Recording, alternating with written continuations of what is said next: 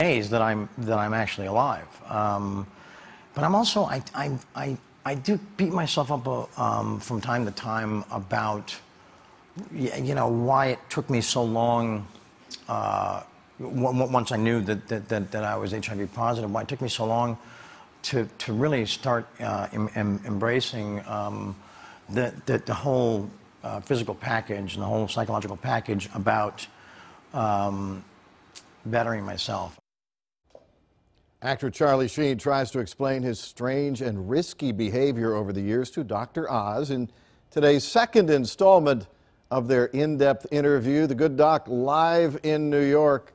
What, what's in it for Charlie Sheen, who is probably one of the most self-absorbed people you'll ever meet?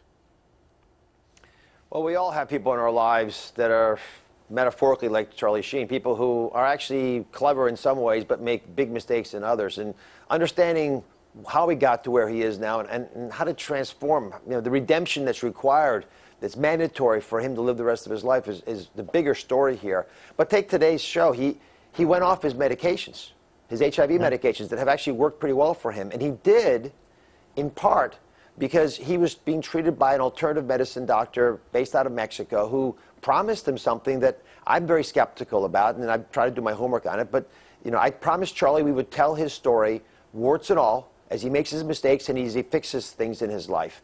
And this is a major turning point. Uh, you know, we have to be able to get him back on his meds. Uh, and he's been able to fix other things in his life. He yeah. stopped drinking, which is a big deal for addicts. So there's a tug of war here. Uh, New York Post says that you have signed on to be his medical mentor. Now, you, uh, you know I love you, but that's almost like signing up to be the weight loss mentor for Oprah.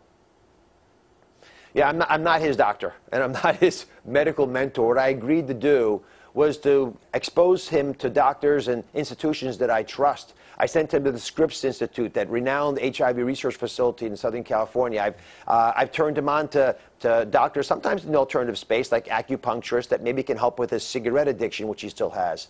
But he's his own man, and he's going to make his own decisions. And like most people, uh, it's not about the facts it's actually more about the emotion. People don't change based on what they know, they change based on how they feel.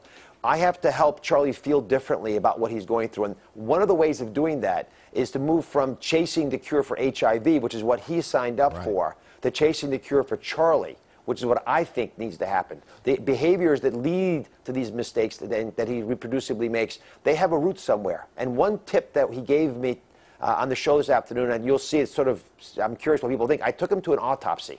I wanted to show him what death really looks like because he's been kicking the door to death for a long time. And he acknowledged that part of it might be when he was 10 years of age, he went to visit his father, Martin Sheen, on the set of Apocalypse Now. And his father had had a heart attack, just had open heart surgery, by the way, over the holidays. And so his facing the potential death of his father at that young age uh, exposed a lot of other very emotional issues for him. And that's where you start to see real transformation in people. Did, did you kind of, as you were talking to him, and he's bright, he's good looking, he's successful, he's talented, he's got everything. He just apparently doesn't know that. Were you kind of flashing back to your days in uh, the psychiatric rotation as a medical student, trying to figure out what's the diagnosis here? I, it's, it's interesting that you bring it up that way. That's exactly how I phrased it to him.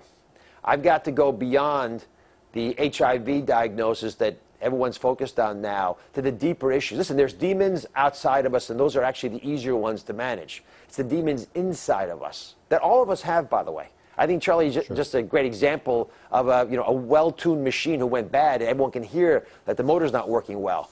Um, but you got to shift it into gear and get back going. And all of us have those demons, and all of us get up in the middle of the night with bad thoughts once in a while. Charlie uses gambling, drugs, sex, yeah. other tactics to cope like so many people do. That's the transformation that I think all of us in our own lives, in our families, and maybe in Charlie's case want to see. The interesting thing about Charlie is people actually care about him. Despite all of his flaws, there's something about him that you sort of want to yeah. root for because you want to see him redeemed.